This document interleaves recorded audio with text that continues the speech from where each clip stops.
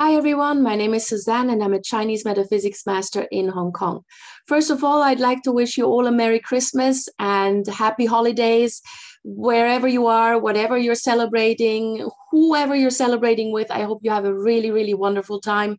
And I do hope that you can actually celebrate in person with your loved ones and not just over Zoom as we've done for the past couple of years. Now, over the next few weeks, I am going to share my animal signs outlook for the year 2022. As you know, the year 2022 is the year of the water tiger, and it officially starts on February 4th, 2022. So uh, keep checking in over the next few weeks. I will be releasing 12 videos um, about the animal signs and what the year 2022 will bring for each one of them. Now, the first thing you want to do is to actually plot your Bazi chart. Uh, you can go to this URL and I will also post this in the notes to this video. So you just key in your date and time of birth. If you don't know the time, never mind, that's not so critical. But obviously you do know your date, uh, date of birth, so key that in. And then you will get your personal Bazi chart. And as you will notice, um, especially if you're a beginner, um, there are actually four uh, boxes that contain animal signs. Yeah, you can have one in the year, one in the month, one in the day, and one in the hour. Now, for seasoned Bazi practitioners, this is nothing new. But for those of you who are new to Bazi astrology or Chinese astrology, uh, just be aware that you can have up to four different animal signs in your natal chart. So it's not just the year that you're born in that is relevant but uh, you also need to actually check in with the month, the day, and the hour. Now, some of us have four different animal signs, some of us have two different ones, three different ones, some repeat, like in this chart here.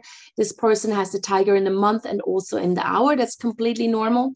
So just check what it is for you because um, all those animal signs that I'm going to be talking about in the next few videos all relate to you as long as you have them somewhere in your natal chart.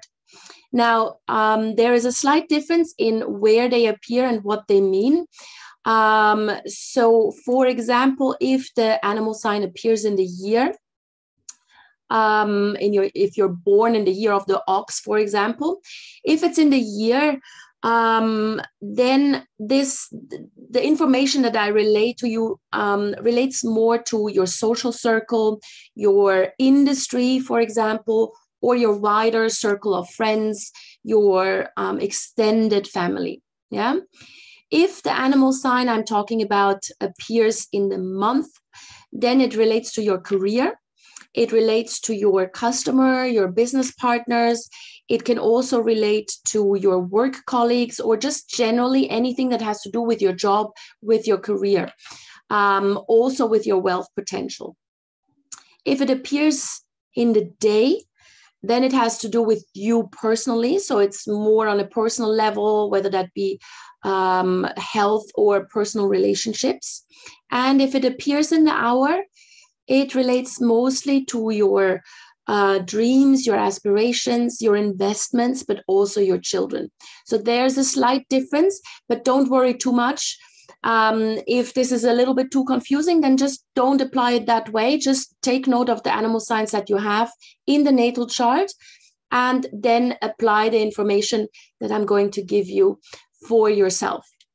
So we will start with the tiger because this is obviously um, the animal of the year.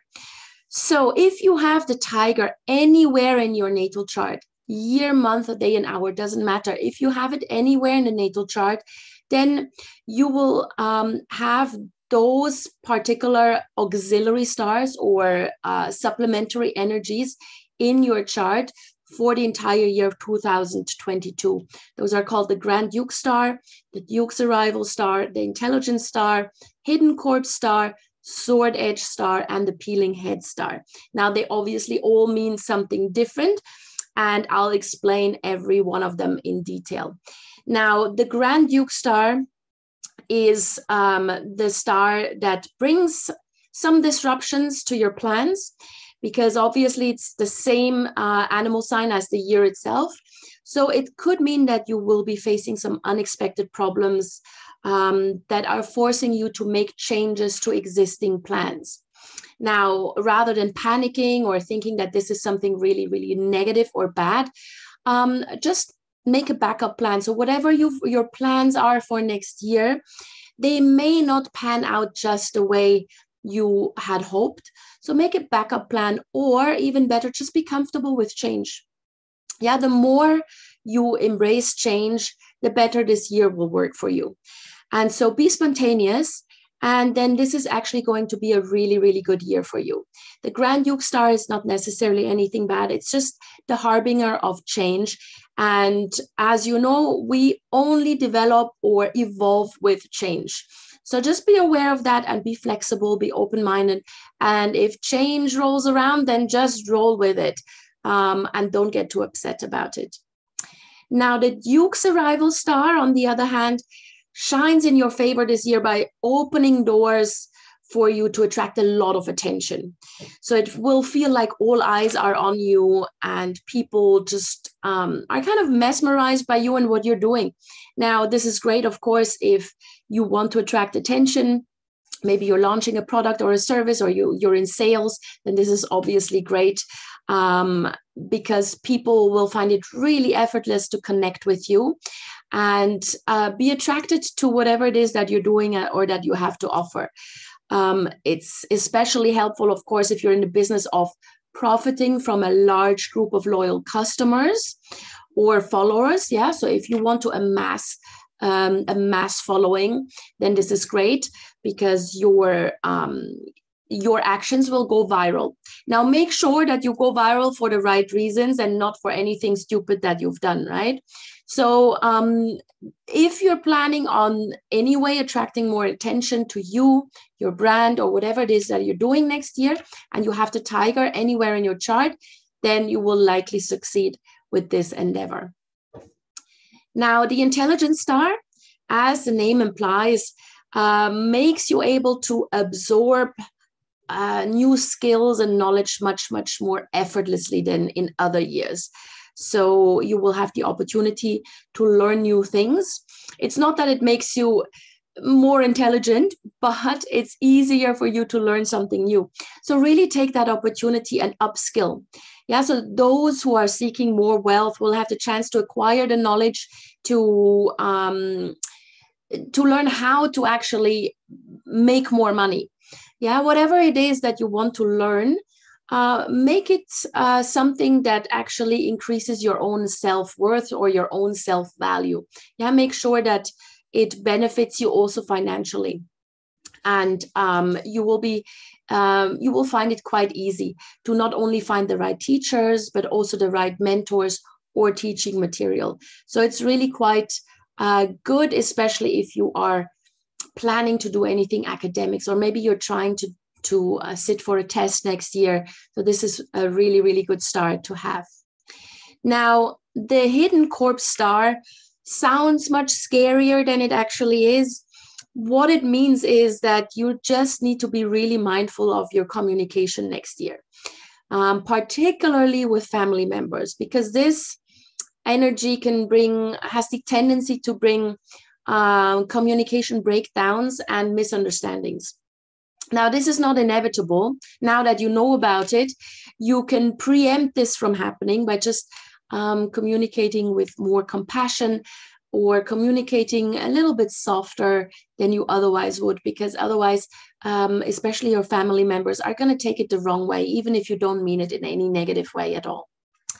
Then we've got the sword edge star.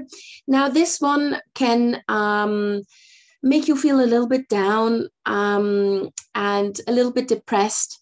So again, if that happens, if you start feeling under the weather or just mentally, emotionally not that great, uh, take sure to to take some time to pamper yourself.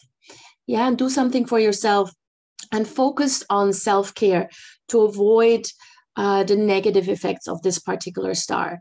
It doesn't mean that you're going to spiral into a depression um, or that you're going to feel horrible all next year. But every now and then you may just feel like, oh, you know what's the point of doing what i'm doing and you you know when you just have these extreme mood swings when that happens just make yourself aware that this is really just a, a sort of an annual annoying um, kind of energy. It's not something that's here to stay. It's just for this year. And you can absolutely mitigate this by just taking care of yourself and doing something that makes you happy. And then lastly we've got the peeling head star. Now, the peeling head star is um, not such a great energy to have in the chart. So if you have the tiger anywhere in your natal chart, then the peeling head star will bring um, the risk of one of your family members maybe getting really, really ill. Um, I would say make sure that you check in, especially with your elderly family members, check in regularly, make sure that they're doing okay and that you spend more time with them than usual. Yeah, so that way you avoid regretting things later. Yeah, so peeling head star, not such a great energy, but just do make sure that you're checking in, that you're communicating, that you know um, when you can help family members, especially the ones that are senior to you or, or older than you or need some help. Spend more time with family. All right. So this is the tiger. Uh, join me. Um, the next video will be about the rabbit, and I'm going to uh, post that in a couple of days. So until then, I wish you a happy holiday, Merry Christmas, and see you soon.